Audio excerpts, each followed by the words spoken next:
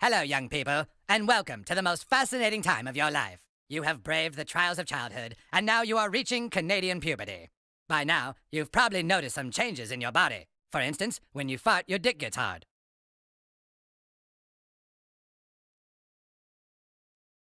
Other physical changes are happening to your body as well. If you're a boy, you may notice that your testicles ache. Or if you're a girl, you may notice a tingling sensation in your strange. This is stupid, bro. I already know all this. Let's just give it a chance, Ike. Going through Canadian puberty, you may notice that your voice is starting to change as well. You're saying things like, hey, buddy, and hey, gay. Because now that you're older, you're discovering that someone who was once your buddy is now your guy. And someone who you used to call guy is quickly becoming your friend. But now let's discuss how a man and a woman make love. First, a man and a woman fall in love.